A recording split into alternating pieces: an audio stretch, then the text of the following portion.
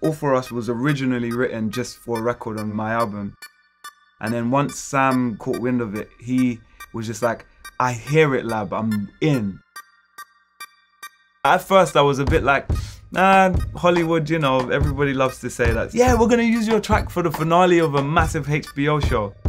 To see my personal music and the music that I was creating for myself become a musical piece in a HBO series is ticking a lot of boxes. This is definitely a dream come true.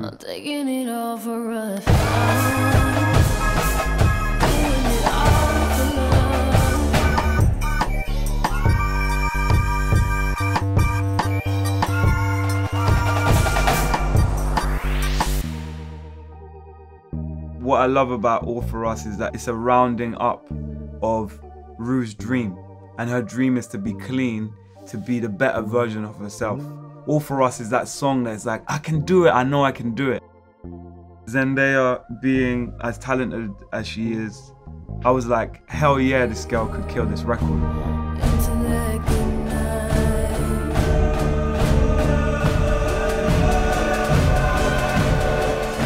The song is the idea that you're a dreamer and you believe that your dream is for for everyone around you. It's actually a bit of that Drake started from the bottom now we're here. Everyone's coming up. And it's that mentality of just triumph with your people. But there's also a, a catch where every dreamer has a certain element of selfishness.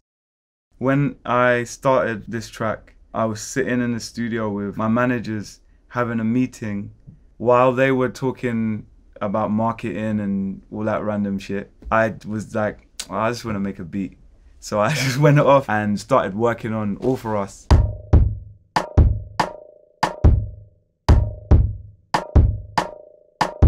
I kind of had a trap rhythmic swing in my head. I don't love using trap sounds all the time, but what if I could use like a live drum kit and still keep that trap bounce? They're still doing this meeting and I, I don't know, I just heard a few words like, yeah, and the video's gonna look like this, and then my mind just blanked out, and I was like, okay, now I'm putting on the bass. It was just like this one one finger bass note just rolling out.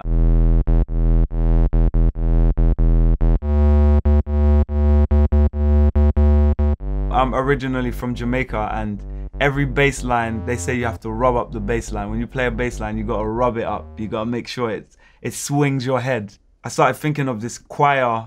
I just started kind of, oh, oh, da da da da da da da da da da.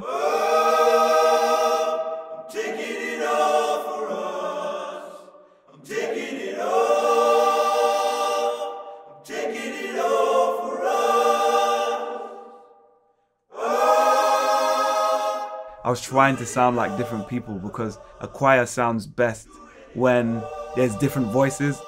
I wanted it to feel like it was in like a cathedral or a church. One thing that really inspires me is like, uh, uh, what is it called? Oompa Loompa. That song, yeah, from from Charlie and the Chocolate Factory. Literally, every time I'm working on a record, I'm trying to sound like these guys. From there, I was like, I need something that carries the high register of the record. And so I was like, why don't I sample myself?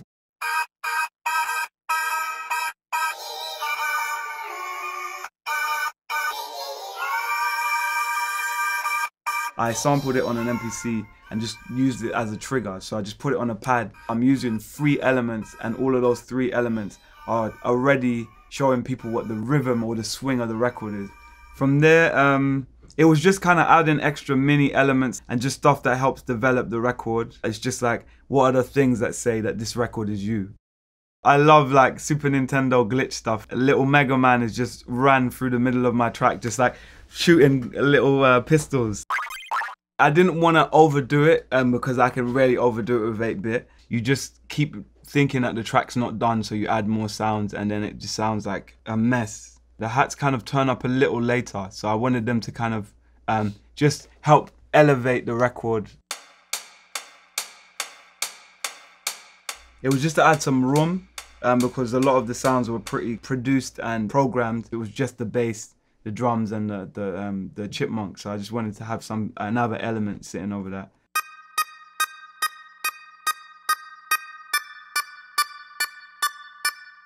It's a, a clavinet, which is something that Stevie Wonder's used on many, many records, but I used it just as something just to help layer the record and, and just keep the rhythm rolling.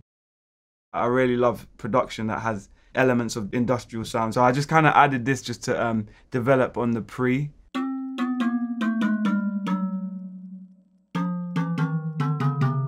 I put some guitar in there, which I sat well far in the back.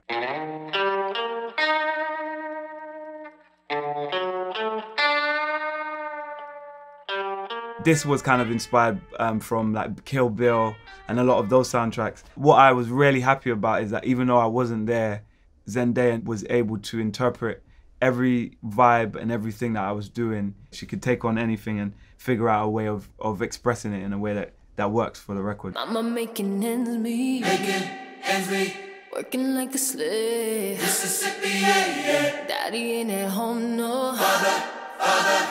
Gotta be a man. Michael Corleone. She came in the studio, she heard the record, she really loved it, and she was like, I'm not gonna do what he does, I'm gonna do what I do.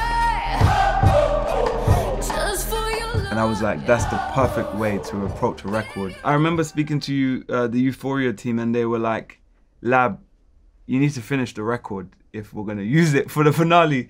And I was like, shit, I need a middle eight. Like, and I watched another episode of Euphoria and I, I, was like, okay, I think I know what Zendaya needs to say or uh, Rue needs to say to round up what this record's about. And so I started working on this middle eight.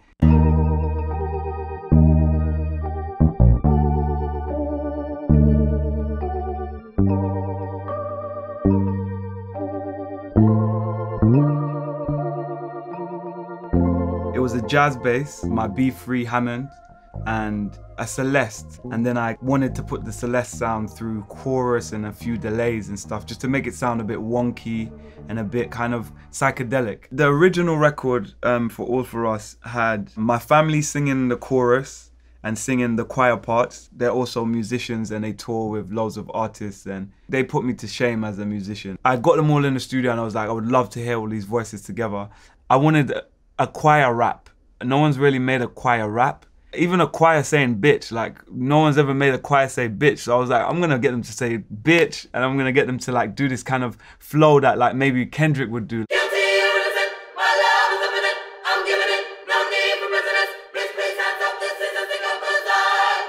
Sam comes to me and he says, Lab, I've got this crazy idea.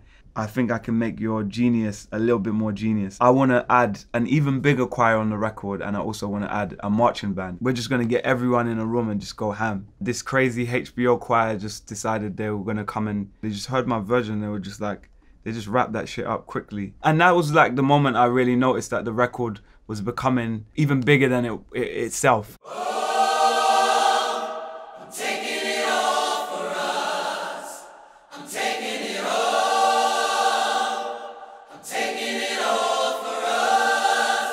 The final bit that we worked on was just um, getting the marching band in.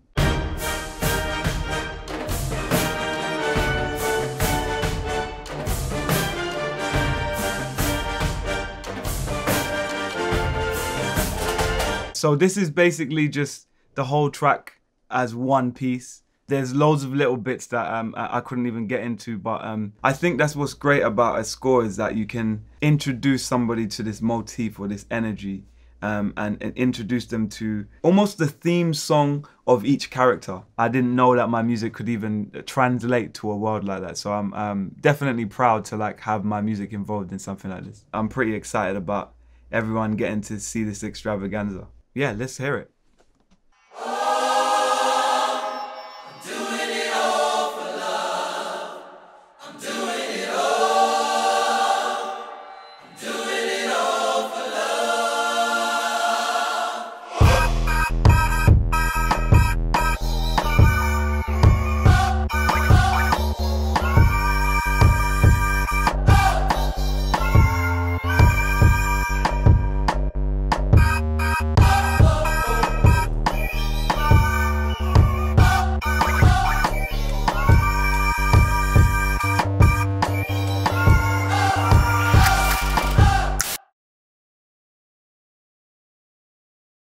I remember talking to one of my friends and he was like, it's kind of like you're downloading all of this information from the sky. So I kind of seem like I'm just talking to myself and I'll be like, da da da da. Yeah, that sounds all right.